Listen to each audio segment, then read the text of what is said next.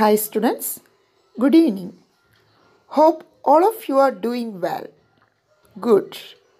In the previous class, we discussed about different fundamental rights. Today, we are going to learn about directive principles and fundamental duties. First, directive principles of state policy. Observe the collage. Which are the areas mentioned in the collage? Environmental protection to encourage khadi, prohibition of intoxicating substances. Directive principles are included in Part 4 of the Constitution. Socio-economic and political programs which are helpful for the creation of welfare state are included in the directive principles. Certain rights which were impossible to be included in the fundamental rights are also included in the directive principles. There is no provision to approach the court for the enforcement of directive principles. Certain provisions of directive principles are to give free legal aid, equal pay for equal work to both men and women, protection of the educational and economic interests of the scheduled caste and scheduled tribes, ensuring international peace and security. Can you identify whose picture is this? Yes, Mahatma Gandhi, the father of our nation.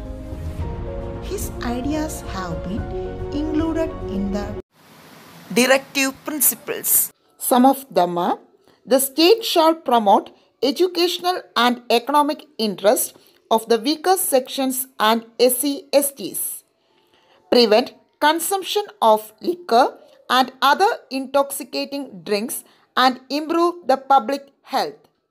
Third one, organize village panchayat to encourage cottage industries and to provide employment in rural areas, to improve agriculture and encourage animal husbandry.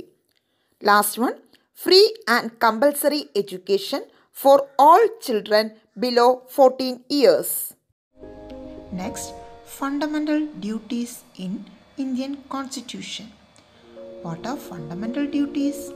Fundamental duties are defined as the moral obligations of all citizens to help promote a spirit of patriotism and to uphold the unity of India. These duties set in Part 4A of the Constitution. They are held by the Supreme Court to be obligatory for all citizens. Certain duties are to be performed by the citizens towards the state to protect the unity and integrity of the nation.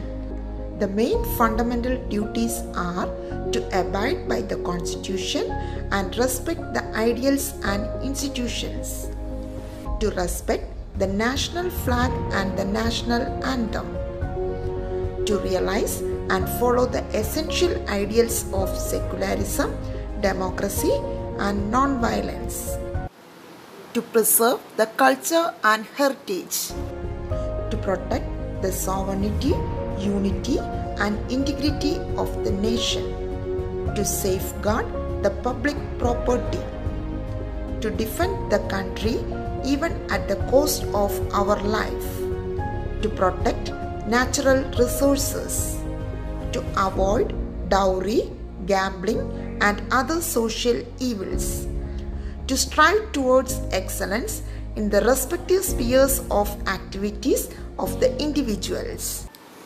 Let's conclude our today's topic. First, directive principles. Directive principles are included in Part 4 of the Indian Constitution. Socio economic and political programs which are helpful for the creation of a welfare state are included in the directive principles. As the name indicates, all these are directions.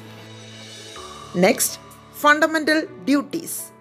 Fundamental duties are included in Part 4A of the Constitution. Certain duties are to be performed by the individuals towards the state to protect the unity and integrity of the nation. These duties are known as fundamental duties. In this chapter, we learn about fundamental rights, fundamental duties, and directive principles. Hope you all understood what we learned today. We will meet in the next class. Thank you.